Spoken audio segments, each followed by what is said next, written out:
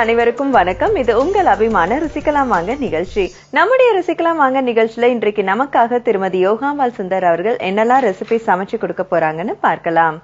வணக்கம் மேம் வணக்கம் எப்படி இருக்கீங்க? நல்லா இருக்கேன்டா. சோ இன்னைக்கு என்ன மேம் சமையல்? இன்னைக்கு வந்து கொத்தவரங்காய் போட்டு பருப்பு உசிலி ஓகே அப்புறம் ரொம்ப நாள் ஆச்சுல ரசம் பண்ணி. ஆமா. இன்னைக்கு ஒரு ரசம் ஓம ரசம். ஓம ரசம். பா சம ஒரு மெடிசினல் வேல்யூ உள்ள ரசம் போலயே. அந்த ஓம ரசத்துக்கு பின்னாடி எங்க வீட்டுல நடந்த ஒரு சின்ன கதை இருக்கு. அது காமெடியா இருக்கும். எல்லாரும் சிரிங்க. சொல்றேன். சோ இந்த கொத்தவரங்காய வேக போடலாம் ஃபர்ஸ்ட்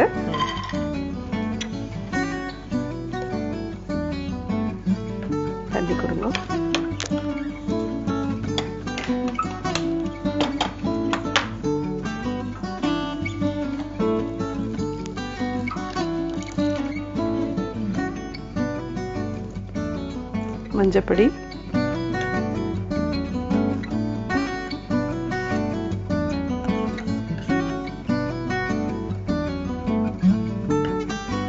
கொஞ்சமா உப்பு. இந்த காய்க்கு தேவையான உப்பு போட்டால் போறோம்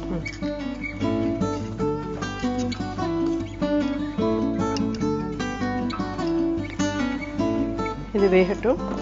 அதுக்குள்ள பருப்பு ஸ்லிக் வேணுங்கிறத அரைச்சுக்கலாம். பரு- பருப்பு உசிலி அப்படிங்கிறது நம்ம முன்னாடியே பண்ணியிருக்கோம். இது என்னன்னா துவரம் பருப்பும் கடலை பருப்பும். துவரம் பருப்பு ஒரு கப்புனா கடலை பருப்பு அரை கப்பு. உங்களுக்கு எவ்வளோ காரம் வேணுமோ அவ்வளோ மிளகா. எல்லாத்தையும் தண்ணி விட்டு ஒரு மினிமம் ஒரு ஒரு மணி நேரம் ஊற வச்சிடணும். ஊற வச்சுட்டு அப்படியே மிக்சியில் அரைச்சிடலாம்.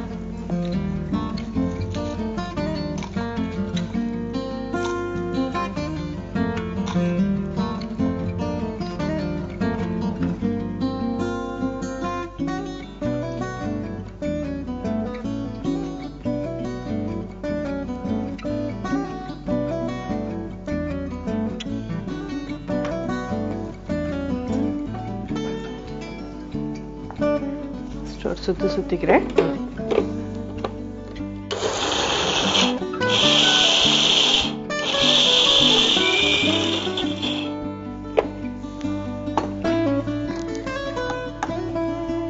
இதுலேயே இப்போ இதுலயே இப்ப மஞ்சப்பொடி பெருங்காயப்பொடி எல்லாம் போட்டுடலாம்.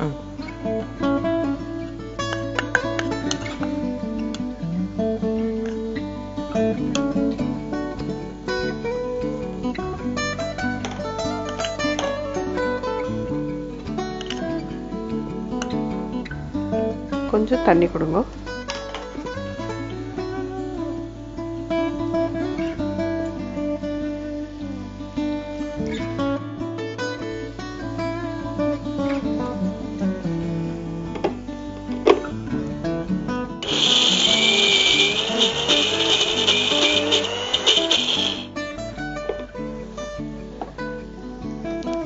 இன்னும் இது அரைப்படணும் இதுல இன்னும் கொஞ்சம் பருப்பு ஸ்லிக் தேவையான உப்பு போட்டுடலாம் காய்க்கு தான் நம்ம போட்டுருவோம்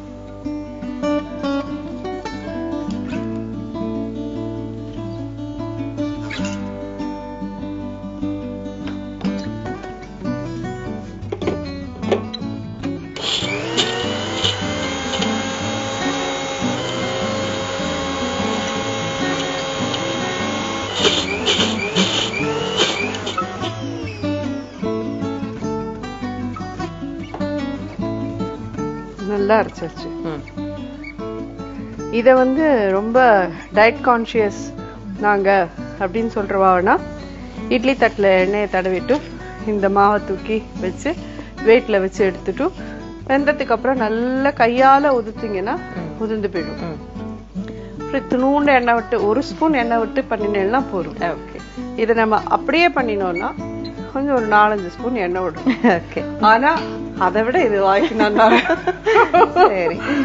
எதெல்லாம் உடம்புக்கு ஆகாதோ அதெல்லாம் வாய்க்கு நல்லா இருக்கும்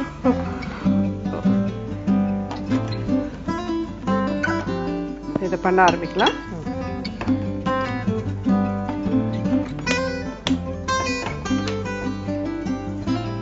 எண்ணெய் கொடுங்கம்மா.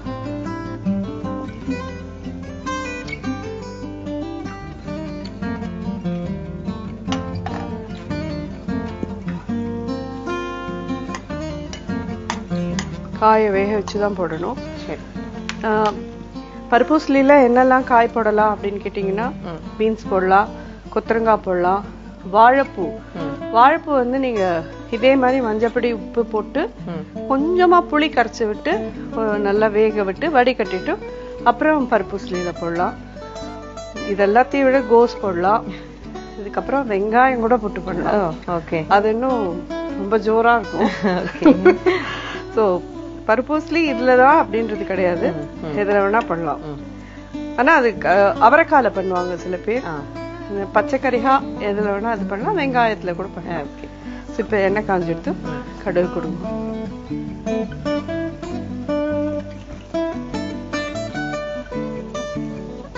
ஸோ கொத்தவரங்க ஒரு பக்கம் சின்ன சின்னதா கட் பண்ணி போட்டு தண்ணி ஊத்தி வேக வச்சிருக்காங்க. அதுல வந்து கொஞ்சமா வந்து உப்பு மஞ்சத்தூள் சேர்த்து வேக வச்சிட்டு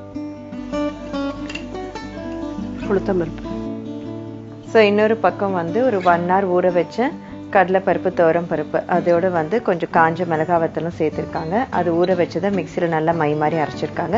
அண்ட் வானிலையில் எண்ணெய் ஊற்றி கடுகு உளுந்து போட்டு பொரிய விட்டுருக்காங்க.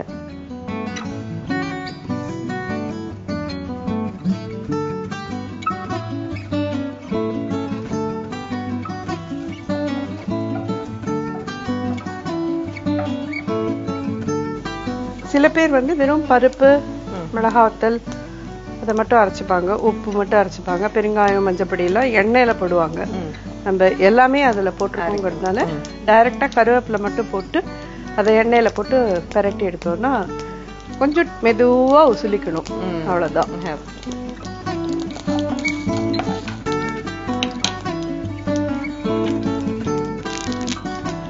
கருவேப்பிலை போடலாம்.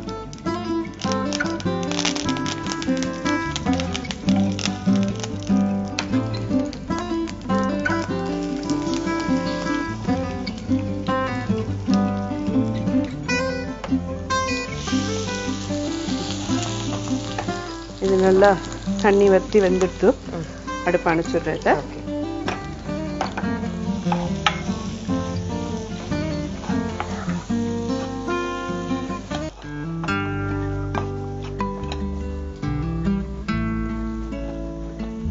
இப்படிதான் இருக்கும். கொஞ்சம் மூடி விட்டு மூடி விட்டு இது- பண்ணணும். இதுல இப்ப இந்த காயையும் ஆட் பண்ணிடலாம்.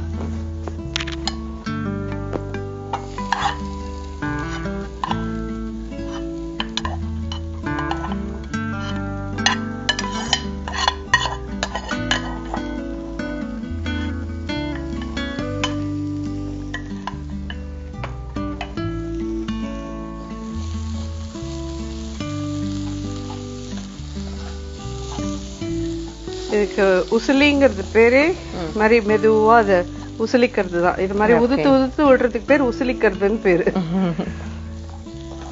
புதுசு புதுசா அதோ பேர் வச்சிருக்காங்க அந்த நாள்ல.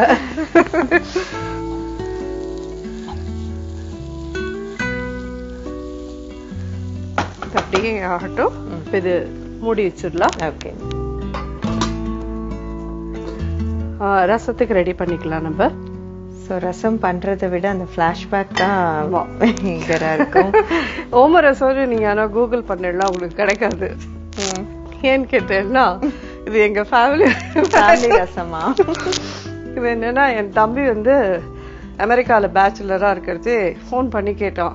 ஏ ஜீரக ரசம் எப்படி வைக்கணும்? அப்படின்னா சரி நான் இங்கேருந்து கொஞ்சம் துவரம் பருப்பு வறுத்துக்கோ மிளகு போட்டுக்கோ ஜீரகம் போட்டுக்கோ நல்லா வறுத்து நான் மிக்சியில கொஞ்சம் கருவேப்பிலையோட சேர்த்து அரைச்சு ரசத்துல கலந்துரு அப்படின்னு சொன்னேன். ஜீரகத்துக்கும் ஓமத்துக்கும் அவனுக்கு ஓமம் போட்டு ஓமம் போட்டு பண்ணிட்டு ஓம வாசனை வருது ஜீரகத்துல அப்படின்னு போன் பண்ணான் ஆனா ரொம்ப நல்லா இருந்தது. நான் உனக்கு வந்து நீ என்னவோ சமையல்ல மேதன்னு சொல்லிட்டு இருக்க நான் உனக்கு அந்த ஓம ரசத்தை பண்ணி தரேன் பாரு. நிஜமாலுமே அவ்வளவு நல்லா இருந்தது. ஆஹா. அதுக்கப்புறம் இனிமே இந்த ரசம் நம்ம வீட்டுல ரெகுலரா இருக்கும். அப்படி கண்டுபிடிச்ச அப்படி ரசம் கண்டுபிடிச்ச ரசம் இந்த ஓம ரசம். நான் வந்துட்டு இது வாட்டி சொல்லிட்டு தான் வந்தேன். உன் மானத்தை வச்சு டிவில வாங்க போறேன். இது உண்மையிலே பெரிய விஷயம் இல்ல. அது வேற நான் வேற மெடிக்கல் வேல்யூ நிறைஞ்ச ரசம் வேற சொல்லிட்டு. கோர்ஸ் நிச்சயமா. மெடிசினல் வேல்யூ இருக்கிறது தான். அஜீரண கோளாறு வாயு கோளாறு இதெல்லாம் இருக்கிறதெல்லாம் இந்த ரசம் பண்ணி சாப்பிட்டா சூப்பரா இருக்கும். அதுல இருந்து எந்த விதமான இதுவுமே இல்ல. ஆனா இதென்ன புது ரசம் யாரோ சொல்றாளே அப்படின்னு கேட்டேன்ல அதுக்கு பேக்ரவுண்ட் இதுதான் சூப்பர். சரி தக்காளி.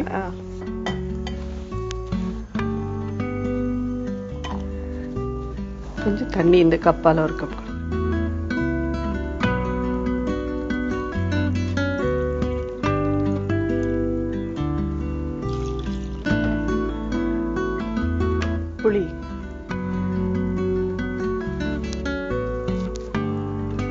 சின்ன எலுமிச்சை அளவு தான் வச்சிருக்கேன். ஆனா இது அதுக்கப்புறம் சாப்பிட்டு பார்த்ததுக்கு அப்புறமா எங்களுக்கு எல்லாமே தெரிஞ்சது. சரி எல்லாம் யாரோ ஒருத்தர் ஒண்ணு கண்டுபிடிக்காம எதுவுமே வராது. அப்படிங்கறதுக்கு நீ வேணா பேட்டர்ன் வாங்கிக்கூடா இதுக்கு. பாலாஜி அப்படின்னும்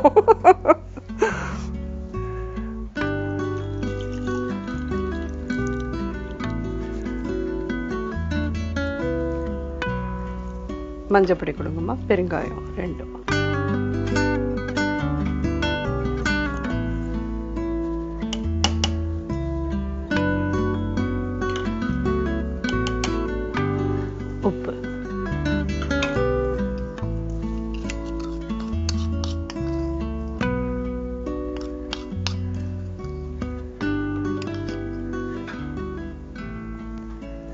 இது கொதிக்கட்டும்.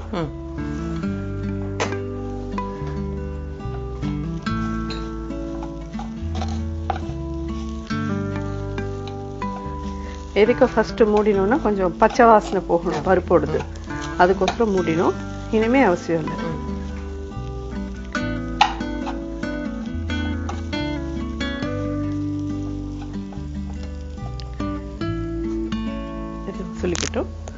ரசமும் கொதிக்கட்டும் கொஞ்சம் நாழி ஓகே. பச்சை வாசனை போகணும் புளி வாசனை. அதுக்கப்புறம் இதுக்கு வறுத்து அரைச்சு விட்டோம்னா முடிஞ்சது ரசம். ஓகே. நல்லா உதிரி நல்லா உதிரியா எடுத்துமா முடிஞ்சாச்சு இது இதை இறக்கி வச்சிடலாம். இப்ப ரசத்துக்கு வேணுங்கிறத வறுத்து எடுத்துக்கலாம்.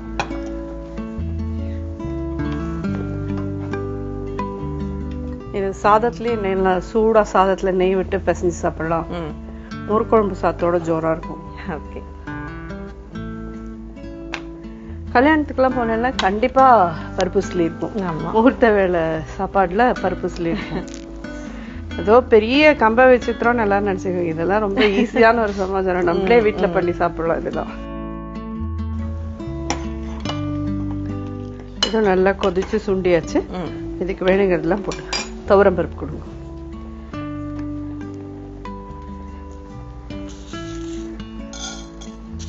ஒரு ரெண்டு ஸ்பூன் கிட்ட துவரம் பருப்பு. அஞ்சாறு மிளகு போடுறேன். ஏன்னா ஓமத்துல வேற கொஞ்சம் காரம் இருக்கும். ஆ. ஓமம் கொடுத்துருவோம்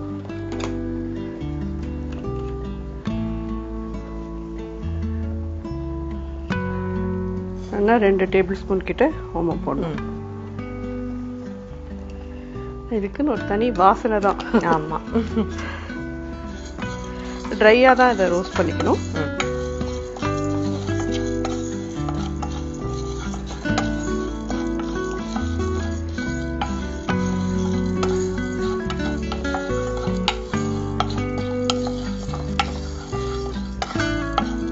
கருவேப்பிலை.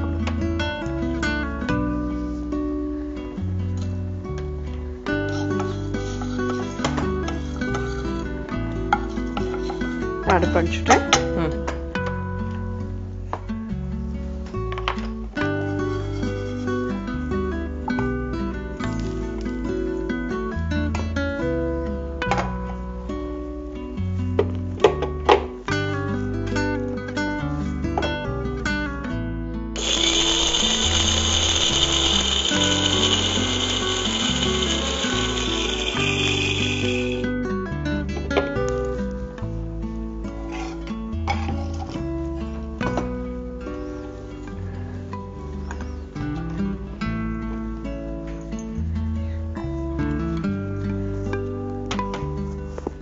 ஸோ இந்த ரசத்துக்கான மசாலா பார்த்தீங்கன்னா துவரம் பருப்பு அதோட வந்து கொஞ்சம் மிளகு சேர்த்துக்கிட்டாங்க. ஓமம் நிறையா ஆட் பண்ணாங்க.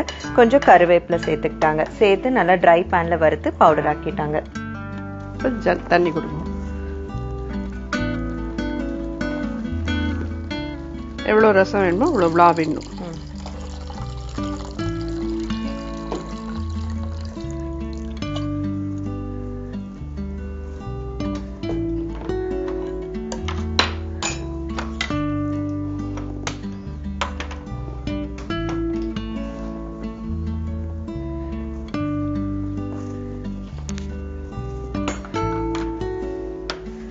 ம். கொத்தமல்லி போடலாம்ப்பா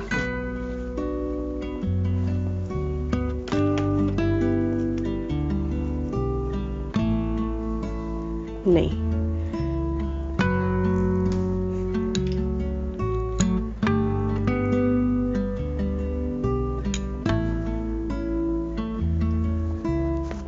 கடுகு மட்டும் தாங்க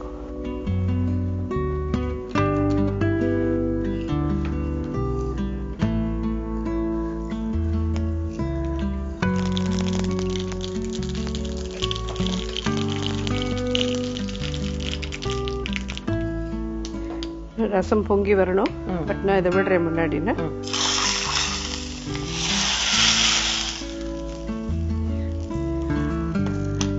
ரசம் ஃபுல்லா எல்லோவா நுரைச்சு வந்தாதான் ரெடி ஆயிடுதுன்னு அர்த்தம் ஆனா அதுக்கப்புறம் கொதிக்க கூடாது ஆ கொதிச்சா வாசனை போயிடும் ஸோ ஓமம் நெய் எல்லாம் சேர்ந்து சூப்பர் வாசனையா இருக்கு ஆனா ரசத்துக்கு எடுத்ததே தயவு செஞ்சு எல்லாரும் அது மட்டும் பார்க்காதீங்க. நூனு நெய் தாளிச்சு கொட்டுங்க. அதுதான் வாசனையே. ரசத்துக்கு எப்பயுமே.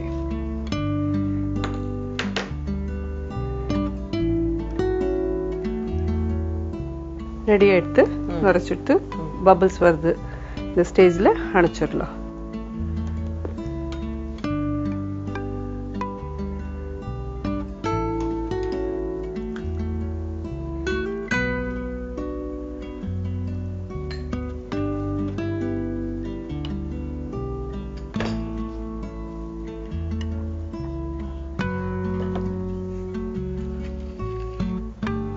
டேஸ்ட் பாருங்க. தேங்க்யூ ஸோ கொத்தவரங்காய் வச்சு பருப்பு சிலி அண்ட் வந்து ஓம ரசம் செஞ்சு கொடுத்துருக்காங்க. இப்போ என்னுடைய சுவையெல்லாம் எப்படி இருக்குன்னு பார்க்கலாம்.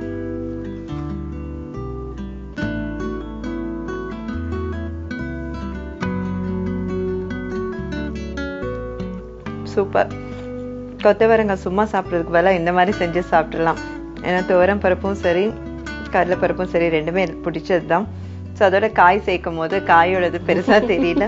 நீங்க சொன்ன மாதிரி வெறும் ஸ்டீம் ரைஸோட பெரட்டி சாப்பிட்டாலே சூப்பரா இருக்கும்.